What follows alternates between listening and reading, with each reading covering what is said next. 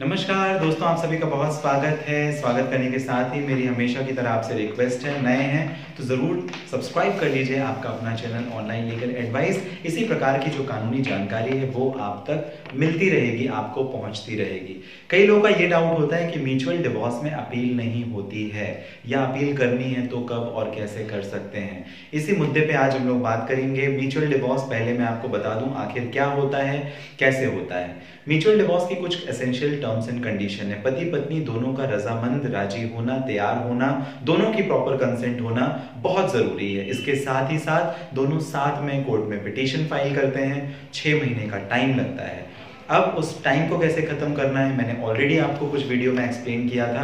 आज फ़िलहाल हम लोग बात कर रहे हैं अपील के बारे में। तो म्यूचुअल डिवोर्स शादी के एक साल के बाद अगर सेपरेशन है तो एक साल के सेपरेशन के बाद फ़ाइल किया जा सकता है और कम से कम इसमें छह महीने का समय आपको देना पड़ेगा, जो कि एक कूलिंग पीरियड होता है। मतलब कई बार गुस्से में आकर के आपने कोर्ट में केस फ़ाइल कर दिया। गुस्से में तो आके कर दिया, लेकिन अब अगर आपको तुरंत अगर कोर्ट ने तलाक भी अलाउ कर दिया तो वो ठीक नहीं है। इस वजह से कूलिंग पीरियड का जो फॉर्मूला है, वो चलता है, छह महीने आपको इंतज़ार करना पड़ता है। चलिए अब बात करते हैं अपील के बारे में। अपील का मतलब ये है कि अगर म्यूचुअली दोनों पति पत्नी को कोर्ट ने तलाक दे दिया है तो क्या वो उसकी अपील कर सकते हैं? नहीं नहीं कर सकते।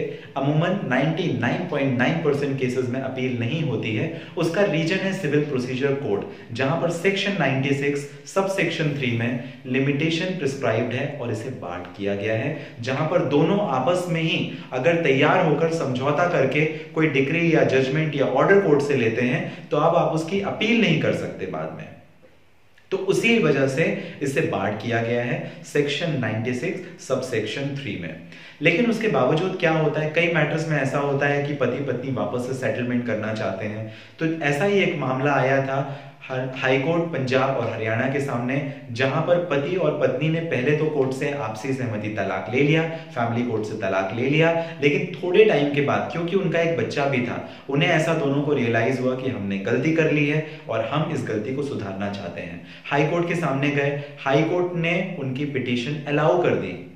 अब ये तो कॉन्ट्रोडिक्टी हो गया। मैंने अभी आपसे कहा कि सेक्शन 96 सबसेक्शन थ्री में सिविल प्रोसीजर कोड प्रिस्क्राइब करता है barred of limitation barred of suit जहाँ पर अपील नहीं हो सकती, वहाँ दोनों ने आपसी सहमति तलाक लिया था उस कंडीशन पे। अब यहाँ कोर्ट ने क्यों कर लिया? कोर्ट ने इंटरेस्ट ऑफ़ जस्टिस को ध्यान रखते हुए कर लिया। अगर आपको ये जजमेंट चाहिए तो निश्चित रूप से आपको मैं डिस्क्रिप्शन बॉक्स में मेंशन कर दूँगा, जहाँ पर कोर्ट ने ये कहा कि उस कंडीशन पे जहाँ पर दोनों वापस से रिइंस्टेट करना चाहते हैं, साथ रहना चाहते हैं तो 1986 के जजमेंट का रेफरेंस लेकर के पंजाब और हरियाणा कोर्ट ने अपील अलाउ कर ली। और दोनों की जो म्यूचुअल डिवोर्स की डिग्री और जजमेंट था, उसे सेट असाइड कर दिया, खत्म कर दिया। आपको ये जानकारी कैसी लगी, ज़रूर आप मुझे कमेंट बॉक्स में बताइएगा। इसके साथ ही साथ नए हैं तो सब्सक्राइब कर लीजिए आपका अपना चैनल अगर आपकी पर्सनल प्रॉब्लम के लिए मुझे बात करना चाहते हैं तो व्हाट्सएप नंबर मेंशन इसके साथ ही साथ इस वीडियो के डिस्क्रिप्शन में लिंक है, जहाँ से आप आपकी पर्सनल प्रॉब्लम के लिए बात करने हेतु मुझे आवेदन या रिक्वेस्ट मेंशन कर सकते हैं। आप सभी का हमेशा की तरह कीमती और महत्वपूर्ण समय देने के लिए बहुत धन्यवाद।